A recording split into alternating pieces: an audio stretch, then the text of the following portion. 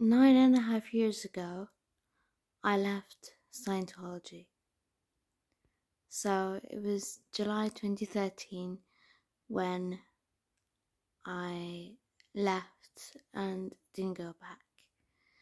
Um, it wasn't an easy transition, and it was certainly a difficult time. Um, just recovering from um, Scientology, the subject, the language, um, and then losing friends, and eventually my ex over time. But that turned out turned out to be a good thing in the end, anyway. So um, I don't totally feel bad about it. Um, I'm definitely happier now and thriving in life. So um, my journey began almost 10 years ago in the summer um, in Brighton, England, and I was body routed into Brighton Org to do an OCA test. Um, after I did the test, I was sold on the Dianetics book, and I did um, a course on communication. Um, eventually, over time, I did the Purif and TRs and objectives, and that's as high as I got on the bridge, or uh, as I like to call it, the ladder, because that's what it looks like. um, anyway, eventually I became a staff member and there were some experiences that were not great and there were a few that were but overall i think being in that kind of mindset where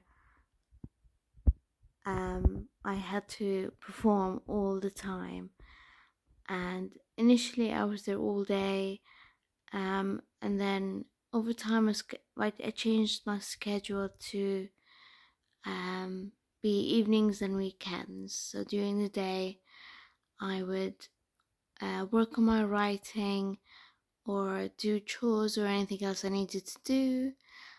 And in the evening, I'd make my way over to the org. Um, at times, I'd be on course, other times, most of the time, I was selling books. I was the bookstore officer, and there were there was high demand every day to sell loads and loads of books. And I remember the golden era rep from New from Copenhagen would phone every day, sometimes twice a day, to ask me how many books I sold and how much it was. And it was more of a love hate relationship. Well, more of a hate than a love relationship. Um, we weren't on the best of terms for sure. There was lots of shouting on her terms, on her side, and me hang, hanging up the phone on my side. Um, I just started standing up for myself more, and I didn't want to. I didn't want to um, feel like I was being shouted at or made to feel like I wasn't doing as much as I could. And um, well, during that time, I definitely grew more as a person. Not that because of those experiences specifically, um, just naturally over time. Um, and there were instances that were certainly not called for because they were definitely abusive emotionally, mentally, and a few times there were some physically abusive abusive times.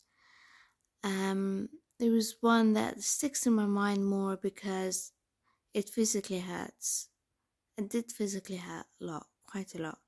So, um, we played a lot of games, book selling games, and there was one specific one where we came second in place and we had to be upset three weeks in a row, and the executive director um, did a lot of the registration in the organization, and she did. Um,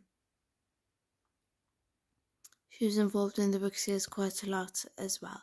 It was a tiny org. It was the amount of people in it was tiny, so uh, we didn't have a lot of people coming and going. So I guess in a way you could say we had to outsource the public from other orgs or from Saint Hill or wherever we could get them.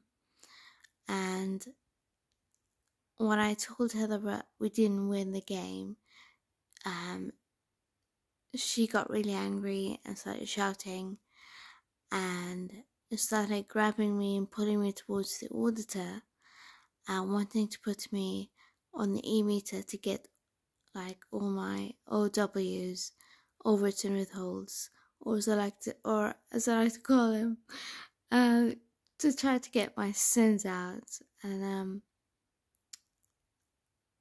and if you're a staff member or a Sea Org member, you know that we're all so busy that we're too busy to do anything wrong. And so these wrongs could be anything. It can be ridiculous.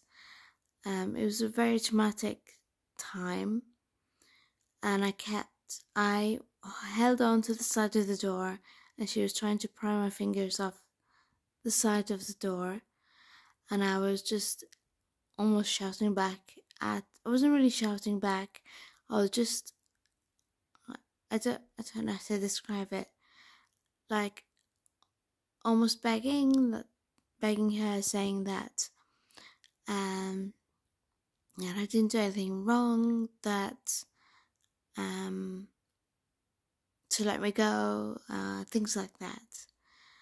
And she was squeezing my arms really hard, and they were bruised.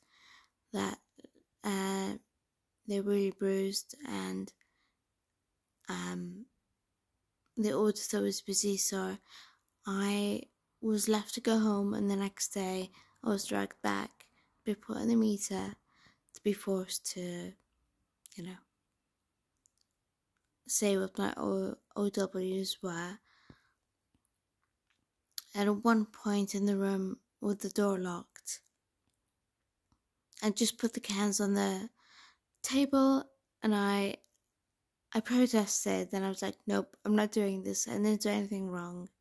And so on. I won't go into detail. Um, it's it's still hard, you know, looking back and recovering from that time period. Um, I'm sure anyone who's been in the or staff member knows that it takes quite some time to recover from being a Scientologist. Um, over time, I discovered more things about the subject, the, the actual truth about it, the stories of ex members from Mike Rinder's blog, and um, I was kind of shocked. I had no idea that all the things that was put out about LRH were edited quite heavily um, to make it seem more uh, digestible to the public and the staff members and the Sea Org members. And I guess there were Sea Org members that were editing the videos and the tapes to make it seem more palatable and to make LRH seem more um, kind of like a hero in a way. Anyway, it's been almost 10 minutes now, and I'll, I'll leave you for now. I might talk about this later time, I might not, um, or might make shorts. So, so my story is that um, during that time period when Katie Holmes uh, left Tom Cruise, um, there was a lot of press about it. And I would look it up on my phone. Um, my personal relationship at that point was not great, and I recognized it as that it became more uh, abusive and I had to do something about it. So, as soon as I got a job, I couldn't take my smartphone with me because my ex was paying for that and everything else.